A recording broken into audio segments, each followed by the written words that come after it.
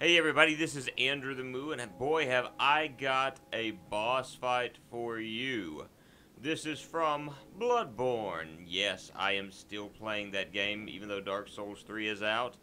And I figured it's been a while since I've released a boss battle, and so I, have got to admit that uh, this boss is a bit more difficult than I thought it would be and even at my leveled up state, I thought, okay, hey, I can take care of this boss, because, you know, I've taken care of everything else by myself. Nope. Vicar Amelia, whole lot harder than I thought she would be, so I got a little help. But I've learned that if you can stay behind her and boop her on the bottom, you know, uh, you can do pretty well against her. But it also helps when you do have that extra help in the uh, level that's uh, someone that can kind of uh, aggro her and uh, take the difficulty away from the boss fight. Because instead of attacking you, she's going to attack your friend. So, yeah, I kind of feel cheap for doing this because uh, at certain points I'm allowing the other person to play cannon fodder. And uh, it's what ended up happening, but I did get a, a good Good visceral attack in on her head. Did not do as much damage as I would have hoped at that moment, but any bit of damage is good damage.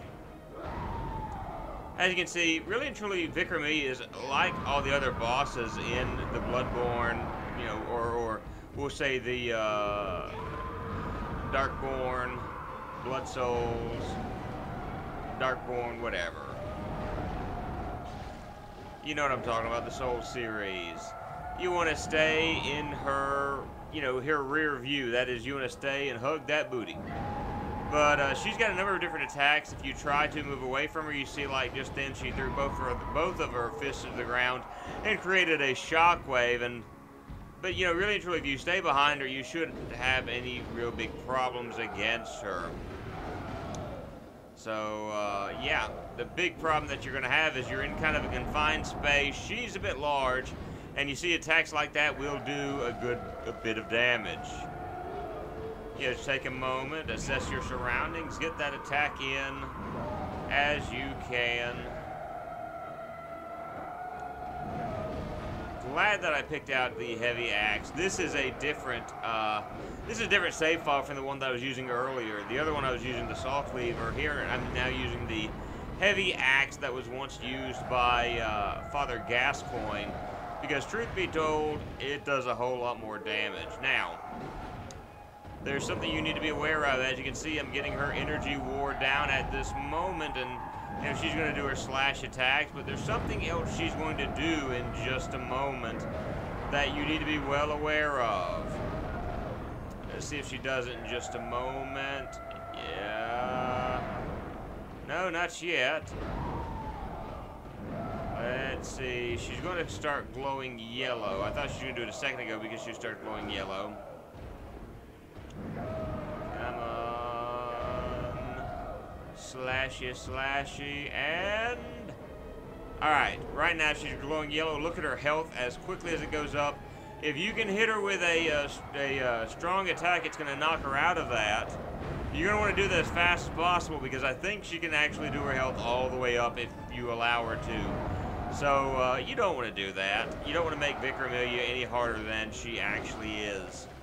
As you can see, like me having cannon fodder has been very helpful. And uh, Vicar Amelia with that is about to be dead. She knocked me away. She knocked me away. So why not? Why not? You saw the uh, the shockwave attack. I think my friend just got the last, or is about to get the last attack on her. Yeah, one of us did, I don't know. But anyway, Vicar Amelia is dead at that. My prey has been slaughtered. So yeah, with that, Amelia is dead, and I point. Good job. I can't remember who you are, what your name is. But now we're going to walk over to the uh, lantern, we're going to light it, we're going to touch the skull, and watch a cutscene.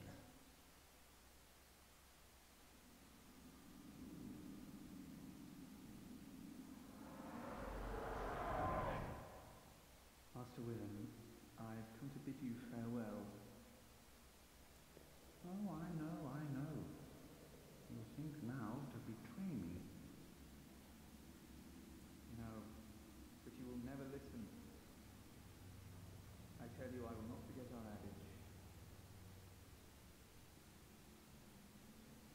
Born of the blood, made men by the blood, undone by the blood. Our eyes are yet to open. Fear the old blood. I must take my leave.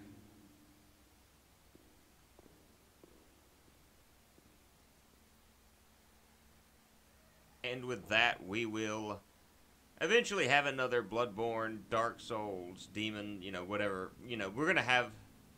Oops.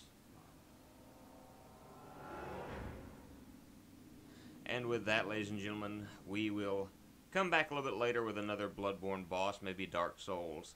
I've got a Dark Souls 1 boss that I need to share, as well as a Dark Souls 2 boss. And we're going to be getting some of the Dark Souls 3 bosses out of the way. But instead of doing a guide or something of that nature like a lot of people do, I've just been doing the boss fights. But anyway, this has been Andrew the Moo, and I greatly appreciate you sharing this time with me. Hope you have a great day. Later!